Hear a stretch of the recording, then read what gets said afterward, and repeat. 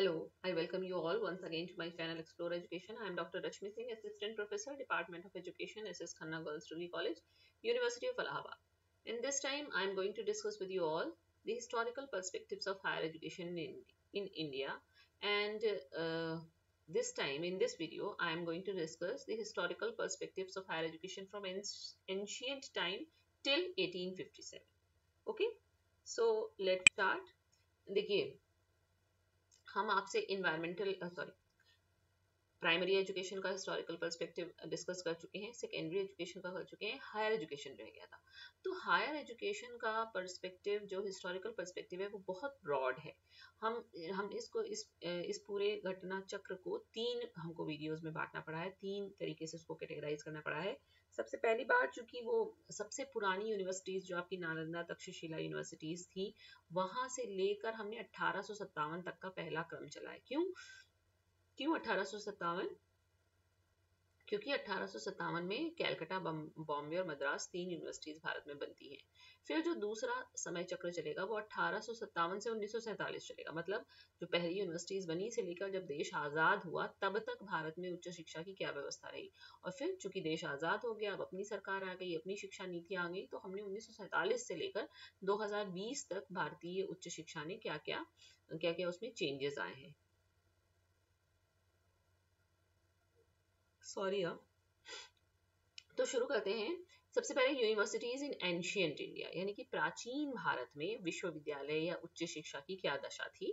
तो the universities of modern India owe very little to our ancient or medieval centres of learning but one must not forget the existence of such centres since very early times मतलब हमारी आज की जो universities जो हैं, वो बहुत पिछली जो हमारी प्राचीनतम यूनिवर्सिटीज हैं, उनसे बहुत ज़्यादा मतलब उनसे बहुत ज़्यादा तत्व हमने ग्रहण नहीं किए, लेकिन हम ये बात नहीं भूलना चाहिए हमको कि हमारे यहाँ विश्वविद्यालय बहुत पुराने समय से थे। दिषद और assemblies of Brahmins learn in दिवेद्स and धर्म सूत्र probably attracted several students desirous of acquiring knowledge like श्वेत केतु इन दी छांदोग्य उपनिषद मतलब पुराने समय से धर्म सूत्रों वेदों से पढ़ाई हमारे यहाँ चली आ रही है। Later there grew up well organise centres of learning of which the most famous were Takshashila and Nalanda हम सभी ने भारतवर्ष, हम जितने भी हैं, वो सभी तक्षशिला और नालंदा के बारे में जानते हैं और हम ये जानते हैं कि जो आक्रमणकारी आए, उन्होंने इन विश्वविद्यालयों को जला दिया ताकि हमारी संस्कृति नष्ट हो जाए। और ये सब सुनकर सभी भारतीयों की तरह हमको भी बहुत दुख होता है ये जानकर कि काश ये विश्वविद्यालय आज भी होते हमको पता चल पाता कि क्या पढ़ा पढ़ाया जाता था, वो क्या था जो जानकर हम आज भी मतलब अपने ज्ञान के क्षेत्र में इतना वृद्धि कर सकते थे। और सुनकर बड़ा दुख होता है कि यहाँ की जो लाइब्रेरीज जलाई गई, वो बहुत महीनों जलती रही। मतलब समय अंतराल मुझे याद नहीं एग्जैक्टली टाइम पीरियड बट मतलब इतना उसमें पढ़ने लिखने, इतना मटेरियल इतनी बुक्स इतनी पांडुलिपि जो भी रहा होगा, इतना सारा था कि जलने में भी खत्म नहीं हो रहा था। मतलब इतनी दुख की बात लगती है।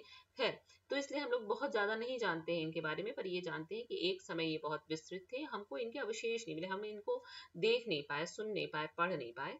At Nalanda often spent as many as 12 years studying the Veds and the Upanishad. अच्छा इन सब के बारे में जो हुएन सांग फाहयान ये सब जो चीनी यात्री हैं, या जिन लोगों ने लिखा है वो कि हम इन, इस विश्वविद्यालयों के शिष्य रहे, वहाँ ये पढ़ाई होती थी, ऐसे पढ़ाया जाता था, इस तरह से मूल्यांकन या दूसरे मतलब पास आउट करके अगली क्लास में या बाहर निकलते थे, आप जो भी वहाँ का सिस्टम था तो वहाँ से ये सब हम लोग को थोड़ा बहुत पता चलता है बाकी बहुत ज़्यादा हम इनके बारे में नहीं जान पाए तो स्टूडेंट्स जो नालंदा में थे, उन्होंने बहुत वो बताया कि लगभग 12 साल वो वेद और उपनिषदों की पढ़ाई करते थे। The works of Mahayana Buddhism and Jainism and the systems of philosophy and logic. इसके अलावा यह महायान बुद्धिज्म और जैनिज्म की भी पढ़ाई करते थे। फिलोसफी और लॉजिक इनको पढ़ाया जाता था। Vallabhi in Kathiawar and Kanchi in the south were great centres of learning about the same time as Nalanda of Vikramashila and Odantapuri in Bihar अच्छा यहाँ फुल स्टॉप आ गया। मतलब ये सब उस वक्त की यूनिवर्सिटीज थी, ये बात आपको बताई जा रही है।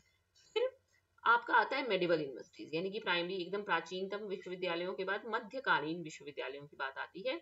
While some of those Hindu centers of learning in the east and the south continued their work throughout the Middle Ages. The Mohammedan rulers encouraged the establishment of colleges. तो जो मुसलमान आक्रमणकारी आए, जो मुसलमान जिन्होंने यहाँ पर राज्य किया, उन्होंने फिर कुछ कॉलेजेस बनवाए जिसको उन्होंने मदरसा कहा, मकतब मदरसा इनका दो चलता था प्राइमरी लेवल पे मकतब और उच्च स्तरीय लेवल पे मदरसा कहाँ कहाँ चलाए इन्होंने लखनऊ, दिल्ली, रामपुर, लखनऊ सॉरी लाहौर सॉरी लाहौर, दिल्ली, रामपुर, लखनऊ इलाहाबाद जौनपुर, अजमेर, बिदार, इन सब जगहों पे इन्होंने मदरसा खोले। The medium of instruction was mainly Arabic अरबी भाषा में पढ़ाई होती थी and there were many famous scholars in Arabic teaching in the institutions of higher learning और उच्च शिक्षा के संस्थानों में अरबी के बहुत सारे पढ़े लिखे विद्वान पढ़ाते थे, प्रसिद्ध विद्वान पढ़ाते थे। While most of these institutions have disappeared, some still carry on the traditions of the old madrasa अब इनमें से बहुत सारे इंस्टीट्यूशन जो है खत्म हो गए, लुप्त हो गए, नष्ट हो गए, लेकिन कुछ अभी भी मदरसा की परंपरा को फॉलो करते हैं। फिर आपका आता है ब्रिटिश पीरियड। मतलब एंशियंट यूनिवर्सिटीज हो गया, फिर मेडिवल यूनिवर्सिटीज हो गया, फिर ब्रिटिश पीरियड। तो ब्रिटिश पीरियड भी कहने को तो 1600 से ही ब्रिटिशर्स आने लगे थे, पर करते करते करते उनको 200 साल लगे लगभग यहाँ पे अपनी सत्ता जमाने में। तो मीन भाई वो कुछ कुछ कुछ कुछ अपनी संस्कृति के प्रचार प्रसार के लिए क्रिश्चियनिटी के स्प्रेड के लिए उन्होंने कुछ कुछ बीच बीच में खोलते रहे। तो कलकत्ता, मदरसा एंड बनारस संस्कृत कॉलेज की बात होती है सबसे पहले कि when Muslim rulers were replaced by the British जब मुसलमान आक्रमण मतलब जो काम करने वाले थे मुसलमान। उनको जब ब्रिटिशर्स ने रिप्लेस किया, प्रतिस्थापित किया तो the later felt the need of doing something for the education of the people and one of the note for the acts of Warren Hastings the first governor general was to establish the Calcutta Madrasa which was intended to qualify the sons of Mohammedan gentleman for responsible and lucrative office in the state and the course of studies follow the traditional pattern embracing theology logic rhetoric grammar law natural philosophy astronomy geometry and arithmetic. क्या कह रहे हैं कि जब मुस्लिम आक्रमणकारियों को मुस्लिम राज्य जो करने वाले थे, उनको जब ब्रिटिशर्स ने रिप्लेस किया तो उन्होंने ये ज़रूरत महसूस की कि हम कुछ इस तरीके का पढ़ने लिखने की संस्थाएँ खोलें।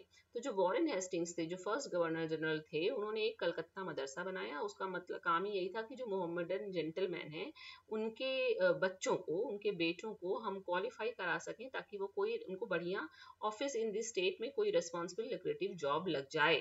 और कोर्स ऑफ़ स्टडीज़ में ट्रेडिशनल पैटर्न फॉलो करते हुए थियोलॉजी लॉजिक रिटोरिक व्याकरण, कानून, दर्शन, आपका आपका खगोलीय शास्त्र ज्योमेट्री यही सब, अंक, गणित, ये सब उसमें पढ़ाया जाता था।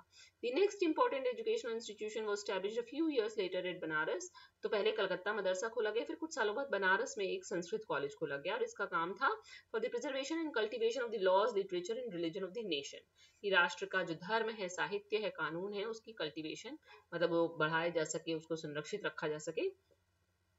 To accomplish the same purpose for the Hindus as the madrasas for the Mohammedans मतलब जो मदरसा खोला गया, कलकत्ता मदरसा, जिसका पर्पज मुसलमानों के बेटों को, उनके घर परिवार वालों को पढ़ाना, लिखाना था, उसी तरह से उसी तर्ज पे बनारस संस्कृत कॉलेज हिंदुओं के लिए खोला गया। फिर आपका आता है Minto Moira and Ram Mohan Roy. Ram Mohan Roy का नाम हम सभी जानते हैं। Lord Minto's, minute written in 1811 regretted the neglect of literature and science in India and suggested improvement in existing colleges in addition to the establishment of new ones. Lord Minto ने एक minute मतलब लिखा, बताया 1811 में उन्होंने बताया कि भारतवर्ष में जो साहित्य है और विज्ञान है उसको बहुत उपेक्षित किया गया और उस पर उन्होंने दुख व्यक्त किया और उन्होंने नए कॉलेजेस खोलने के लिए सजेशंस दिए। Two years later, when the charter of the East India Company was being again renewed, a clause was inserted stipulating that a sum of not less, less than one lakh of rupees in each year shall be set apart and applied to the revival and improvement of literature and for the introduction and promotion of knowledge of the sciences among the inhabitants of the British territories in India. मतलब अगर आपने थोड़ा सा भी history of India जानते हैं education के परिप्रेक्ष्य में तो आप जानेंगे कि जब ये चार्टर आया ईस्ट इंडिया कंपनी का उसने कहा एक उसमें से मतलब एक क्लॉज निकाला गया कि sum of not less than one lakh rupees one lakh rupees उन्होंने कहा कि एक लाख से कम रुपया नहीं खर्चा किया जाएगा। किस पे? कि revival and improvement of literature जो लिटरेचर का लॉस हो गया है जो साहित्य का ह्रास हो गया है, उसको पुनर्जीवित करने के लिए, उसके सुधार के लिए चलाया जाएगा। लेकिन बाद में क्या हुआ कि एक विवाद हो गया। उन्होंने कहा इसमें इसको ओरिएंटलिस्ट एक्सीडेंटलिस्ट कंट्रोवर्सी कहा जाता है। तो ये हुआ बाद में कि ये एक लाख रुपए किस पे खर्च किया जाएगा? अंग्रेज़ी भाषा और इसके प्रचार प्रसार पे कि या जो आपका लोकल नेटिव लैंग्वेज और उसका साइंस है उसके लिए? तो ये बाद में जाके समअप होता है। तो इस वक्त जब ये आया तो राजा राम मोहन रॉय जो थे वो उस वक्त भारतीय भारतीयों में सबसे बड़े सुधारक थे, जो ये मानते थे कि हाँ हमको ब्रिटिशर्स की जो पढ़ाई लिखाई है, जो मॉडर्न लैंग्वेज है मॉडर्न नॉलेज है, उसको हमें सीखना चाहिए। तो ये इस तरह कार्यक्रम चल रहा था कि पहले प्राचीनतम नालंदा विश्व नालंदा तक्षशिला विश्वविद्यालय फिर मुसलमानों ने मदरसा खोले फिर उसके बाद जो ब्रिटिशर्स आए उन्होंने कलकत्ता मदरसा और बनारस संस्कृत कॉलेज खोला फिर इस तरीके की बात हुई कि हमको बहुत ज़्यादा और खोलना है विश्वविद्यालय पढ़ाई लिखाई के शिक्षा के प्रसार के लिए काम करना है। राम मोहन रॉय ने भी इसको समर्थन दिया। फिर आ, आपका आता है बॉम्बे का माउंट स्टुअर्ट एल्फिन क्या है ये shortly after this in 1830 and in the court of directors communicated their policy to the government of Madras Madras and Bombay who had not so far done very much for the propagation of western education in spite of Mount Mount Stuart Elphinstone's famous minute of 1923 urging the establishment of schools for teaching English and the European sciences मतलब कि एक ये mount Stuart का एल्फिनस्टोन का minute आया उन्होंने उन्नीस सौ तेईस में कहा कि हमको जो यूरोपीय विज्ञान है और अंग्रेज़ी को पढ़ाने के लिए हमको स्कूल खोलने होंगे। तो इस तरीके की ये बातचीत चल रही थी कि अंग्रेज़ी मॉडर्न एजुकेशन मॉडर्न साइंसेस के लिए आपको काम करना चाहिए। फिर आपका आता है the most famous Macaulay minute बहुत बहुत पॉपुलर है ये। While these developments was taking place in Bombay and Bengal the demand for instruction in English grew more and more insistent जब ये सब चल रहा था कि ठीक है, आपको नए विद्यालय खोलने ये सब करना है तो बहुत एक मांग उठ रही थी कि अंग्रेज़ी शिक्षा। क्यों? क्योंकि जितनी भी नौकरियाँ निकल रही थी, उनमें सब में यही उसकी प्री रिक्विजिट होती थी कि आपको अंग्रेज़ी में कम्युनिकेशन करना आता हो तो सभी चाह रहे थे कि भाई अंग्रेज़ी शिक्षा मिले ताकि नौकरी मिले। English books were sold by thousand and there were practically no demand for Sanskrit or Arabic books तो चूँकि नौकरियाँ जो देने वाले थे, उनको अंग्रेजियत चाहिए थी, इसलिए वो नौकरी, कोई संस्कृत और अरबी, फारसी में कोई नौकरी निकल भी नहीं रही थी। In order to satisfy the popular demand English classes had been to Madrasa and the Sanskrit college at Calcutta or as also to the Agra college देखिए तो चूँकि अरबी, संस्कृत क्या होता है? डिमांड और सप्लाई होती है ना। जब डिमांड ही नहीं है, संस्कृत और अरबी पढ़े लिखे लोगों की तो सप्लाई भी धीरे धीरे बंद हो गई। तो धीरे धीरे मदरसा से भी अटैच करके, जो हिंदू संस्कृत कॉलेज था, उससे भी अटैच करके ये आपकी इंग्लिश की पढ़ाई होने लगी। तो इस तरीके से ये सब इस वक्त चल रहा था। फिर आता है आपका, यही चल रहा है आगे कि ही डिस्कस्ड मैकॉली साहब ने कहा कि act of 1813 which provided a sum of money for the revival and promotion of literature and for the introduction of knowledge of sciences among the inhabitants of British territories यही बात जो चल रही थी तो उन्होंने कहा कि ये विवाद, को उन्होंने कहा कि नहीं, अंग्रेज़ी भाषा का ही आपको प्रचार प्रसार करना है। इन्होंने कहा ना he therefore came to the conclusion that the government was free to employ its funds in teaching what was better worth knowing than Sanskrit or Arabic what the Indian desire to learn rather than these old languages मतलब इस तरीके का, एक आप कह सकते हैं myth फैलाया गया कि संस्कृत और अरबी ये सब पुरानी भाषाएँ इनका कोई ज़रूरत नहीं रह गई, आप अंग्रेज़ी पढ़िए, अंग्रेज़ी जानिए। है ना? फिर आपका आता है resolution of Bentinck and his council जो बेंटिक रेजोल्यूशन के नाम से विख्यात है तो मैकॉले मिनट को governor general Lord William Bentinck ने अप्रूव कर दिया।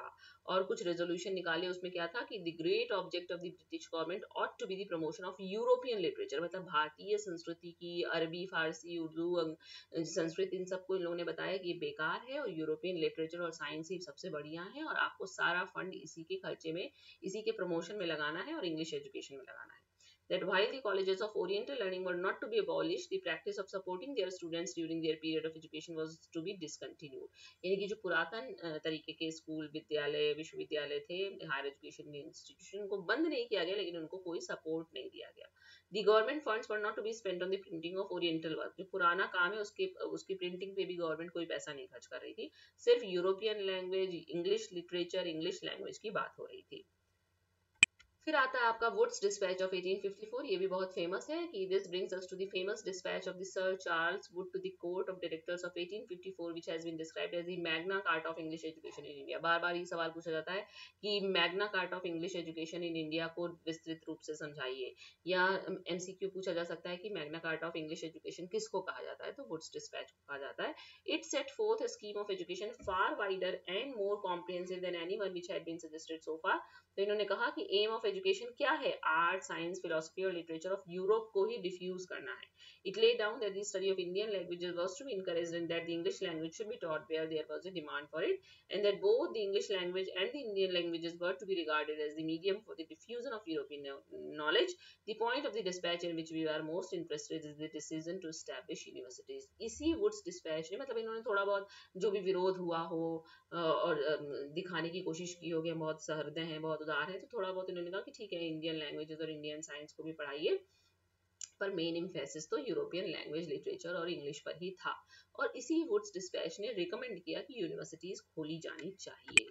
तो खोली जाती थी court of directors felt the time had arrived for the establishment of universities in India इन लोगों को लगा कि अब वो समय आ गया है कि भारत में विश्वविद्यालय खोलने चाहिए which might encourage a regular and liberal course of education by conferring academic degrees as evidence of attainment in the different branches of arts and sciences they agreed with the proposal which had been made a few years earlier to establish universities on the model of the London University. देखिए, हम लोगों को ये चीज़ नहीं पता रहती है और खासतौर से जो एजुकेशन के स्टूडेंट्स नहीं, उनको तो बिल्कुल ही नहीं पता कि जो सबसे पुरानी यूनिवर्सिटीज़ आपकी कलकत्ता, मुंबई और मद्रास की यूनिवर्सिटीज़ बन रही हैं, बनी थी, वो लंदन यूनिवर्सिटी की तर्ज पे बनी थी भाई, आपके यहाँ जो मॉडल होगा, उसी को तो आप फॉलो करेंगे ना कहीं और का तो करेंगे नहीं तो वहाँ पे लंदन में लंदन यूनिवर्सिटी थी तो उसी की तर्ज पे यहाँ हिंदुस्तान में भी कलकत्ता, बॉम्बे और मद्रास की तीन यूनिवर्सिटीज खोली जाती हैं और वो उनमें भी उसी तरह से होता था चांसलर वाइस चांसलर सीनेट और देखिए, आज हम दो सौ, डेढ़ सौ साल हमारे हो रहे हैं, हमारी मतलब उन्नीस से दो हज़ार सौ साल नहीं, पचहत्तरवा हम लोग अमृत महोत्सव मना रहे हैं।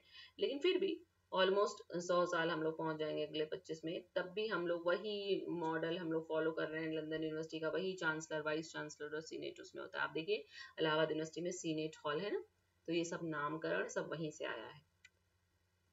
हम्म, पचहत्तरवा चल रहा है। ठीक है तो अब आपका ये सबसे बड़ा माइलस्टोन आता है ब्रिटिशर्स के राज में कि तीन यूनिवर्सिटीज खोली जाती हैं, कलकत्ता, बॉम्बे और मद्रास में। तो आपको पता होना चाहिए कि ये भारत की मतलब आधुनिक भारत की प्राचीनतम विश्वविद्यालय हैं।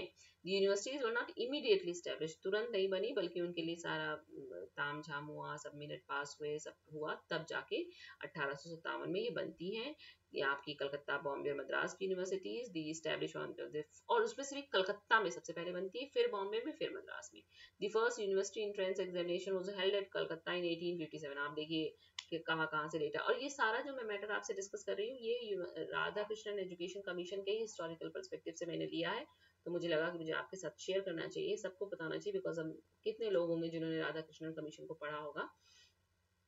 तो ये ये बहुत इंटरेस्टिंग बात मुझे लगी कि कलकत्ता यूनिवर्सिटी में सबसे पहला यूनिवर्सिटी एंट्रेंस एग्जामिनेशन जो हुआ था, वो अठारह में हुआ था। 244 कैंडिडेट अपियर हुए थे, जिसमें से एक सौ बासठ पास थे। तेरह कैंडिडेट को फ़र्स्ट डिग्री मिली थी और केवल thirteen candidates appeared for the first degree examination of 1858 and only two were successful और दो केवल उसमें से सफल हुए one of whom was Bankim Chandra Chatterjee.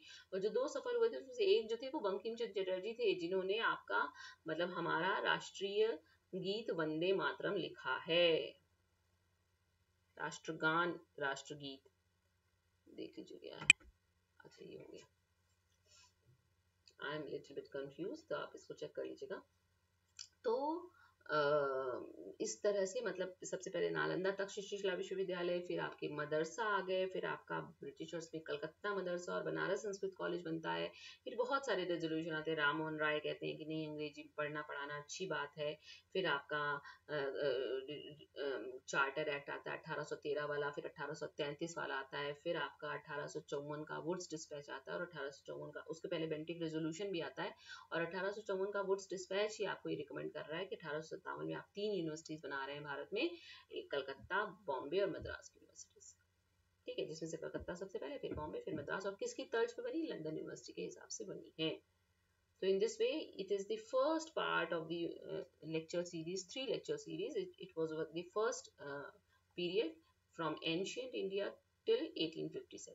And the next video I will cover from 1857 to 1947 and at last it will be covered by 1947 till till date मतलब 2020 तक okay so thank you and don't forget to like and subscribe my channel explore education i've done from my side